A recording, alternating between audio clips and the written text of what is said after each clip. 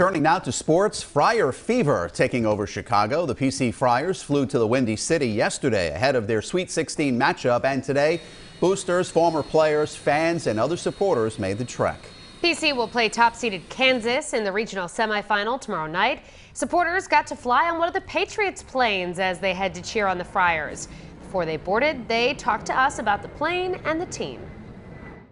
That's big time. That's big time. In fact, that we get to go on a Super Bowl Patriots plane is even more amazing than a regular charter flight. There's a lot of Friar fans who've been with us all year long. The, the dunk has been unbelievable. The students have been fabulous, and, and the fans come to every game. Providence is buzzing every game, and it's a terrific team.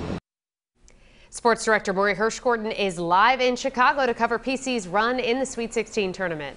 Morey caught up with the team and joins us now live from inside the United Center. Morey? Mike Shannon, yes, this historic Providence season continues here in Chicago. It's the Sweet 16 tomorrow night with top seeded Kansas. We were here at the United Center bright and early this morning for Providence's practice. We caught up with head coach Ed Cooley and the team afterwards, and they say the success on the court all begins in the locker room because of the chemistry. If I'm coaching issues, I'm not coaching players and we haven't had any issues, and it's a reason why we're doing what we're doing.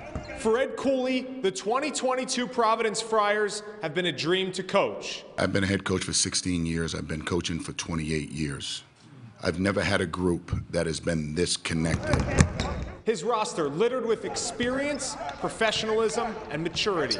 We all have the same goal. We all want the same thing, and that's to win and survive in this tournament. It's that focus, that determination, a big reason why they're in the Sweet 16. Um, we have this model that says us, we together, family friars, and that's what we really go by. Us, we, together, family friars. It all means the same, whether it's a fifth year forward like Nate Watson or a first year wing like Justin Minaya. The way that these guys have really gelled together so quickly is just a testament to how good we can be. I had no problems like fitting in with the team. Like that there was no there was no egos, there was no jealousy involved, and I kind of felt that as soon as I got on campus. The Friar locker room is a melting pot for all, regardless of prior stops, prior successes, or prior failures. If there's 40 minutes on the clock, there's a chance to accomplish the common goal. We've all had our time in college. We all experienced different things.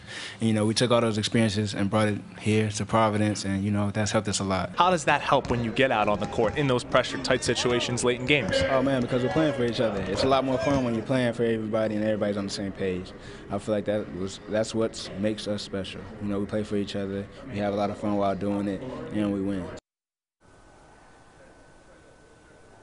And if the Friars do pick up one more win, they tie the most ever for a single season in program history with 28. And then they would have an opportunity to set history on Sunday in the Elite Eight to reach the Final Four. Exciting time here in Chicago. We will have plenty more coverage with the Friars coming up new tonight at 6. Inside the United Center, Morey Hershgordon, 12 News.